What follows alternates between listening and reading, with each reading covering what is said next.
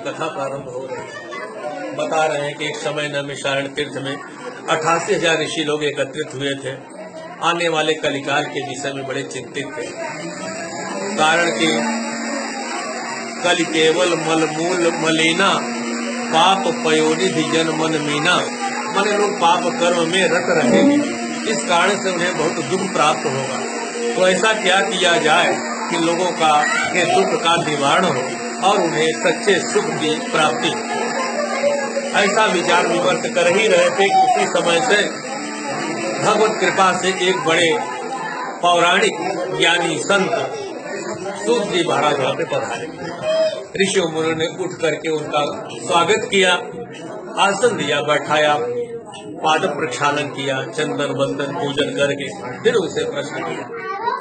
यही परोपकार की भावना से उन्होंने लोक कल्याण का प्रश्न किया कि सर्वे भवंतु सुखिना, सर्वे संत निरामया सर्वे भद्राणी पश्चिम माँ कर कोई भी दुखी न हो, सबको सुख प्राप्त हो। हे महाराज, ऐसा कोई आप उपाय बताओ? तो सूत जी महाराज यह सुनकर बड़े प्रसन्न हुए।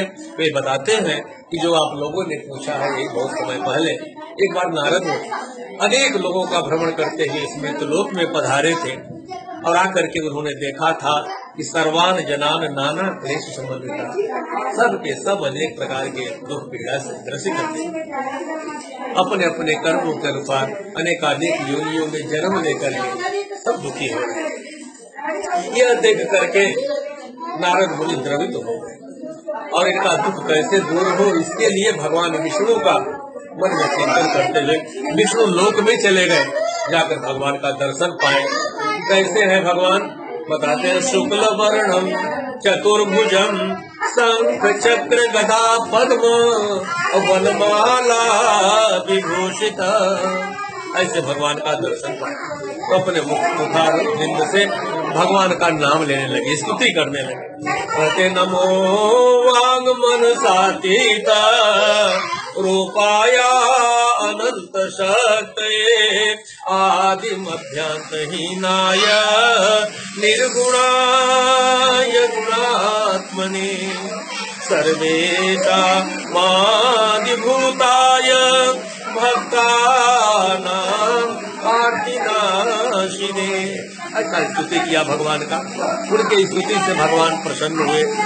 आने का कारण पूछा और कुमार जी ने बतलाया कि भगवान मृत्यु लोग से आ रहा हूँ और सारे लोगों का कष्ट बतलाया भगवान। और उनके, उनसे कष्ट छूटने का उपाय भगवान से तो भगवान बड़े प्रसन्न हुए। उनके अंदर जो यही परोपकार की भावना थी, कारण की परहित सरिसा, धर्म नहीं भाई, अपर पीड़ा सम। नहीं यथमाई ऐसा जब भाव देखा, भगवान बड़े प्रसन्न हुए और उनको बताया कि एक बहुत ही महत्वपूर्णियम स्वर्गीय मर्तीय चतुर्नभम ऐसा एक व्रत है उसको मैं आपके स्नेह बस बता रहा हूँ। इसको करने से मनुष्य तुरंत सुख प्राप्त करेगा और अंत में तो मुक्त ही हो जाएगा।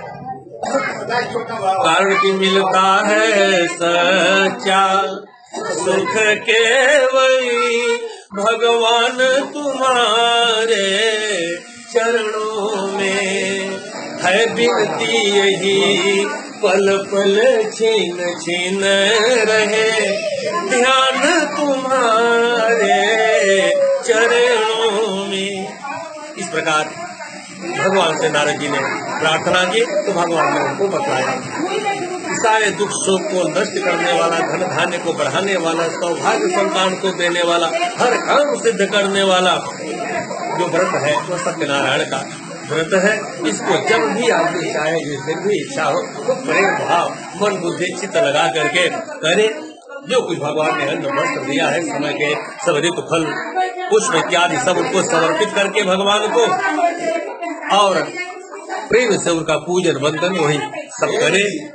दक्षिणा भगवान को चढ़ाए, उनकी कथा श्रवण करे, अंत में भगवान का प्रसाद ग्रहण करे, नृत्य गीत करे, और सदा सर्वदा ऐसे भगवान को याद करता रहे। सुबह उठते, जागते, सोते समय ऐसा जो नित्य भगवान को याद करेगा, उनकी कृपा से उसकी समस्त वांछाएँ सिद्ध होगी।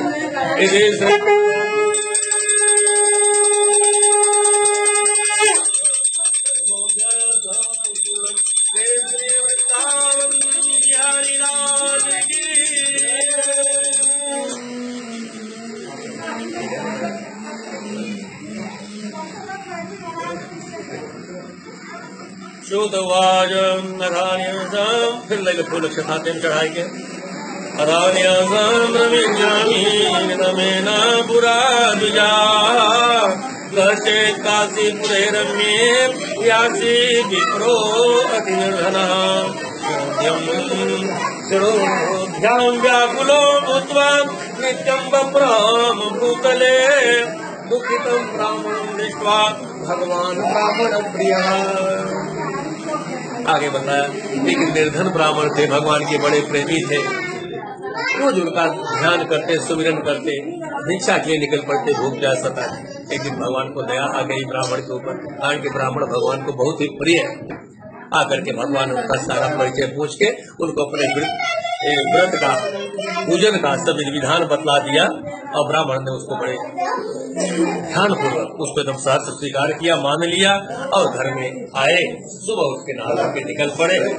अंत में भगवान की कृपा और मन में ऐसा निश्चय कर लिया कि आज मैं भगवान का पूजन करके उनका चरणामृत ही सर्वप्रथम ग्रहण करूँगा। तो भगवान की ऐसी कृपा हुई कि धनवान व्यक्ति दौड़ के ब्राह्मण के चरणों में गिरा, अपने घर में लाया। उनका सारा परिचय जान के, पूछ के सब सारी व्यवस्था कराया।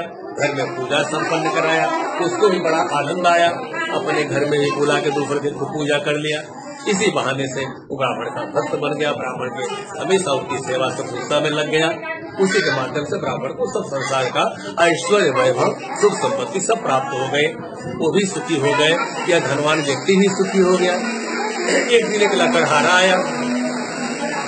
अकेले कमाते खाते उग गया था। ब्राह्मण के साथ बैठता था तो हमेशा उनका सत्संग मिलता था। तो बड़ा प्रसन्न होता था, मन को शांति मिलती थी। आया, देखा तो उनका समय खूब बदल गया था अच्छा हो गया था।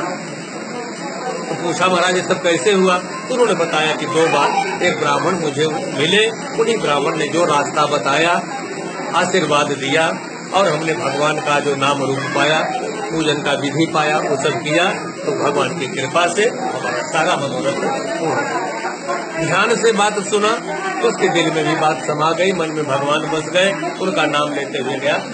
दुगुना लाभ हुआ, और घर में आकर के सबका सब भगवान में लगा के, ब्राह्मण को बुला के तो प्रेम से पूजन किया, और उस पूजन के प्रभाव से उसको धन, पुत्र, संसार की जो भी इच्छा थी, वह सब कुछ भगवान सत्यनारायण ने जोड़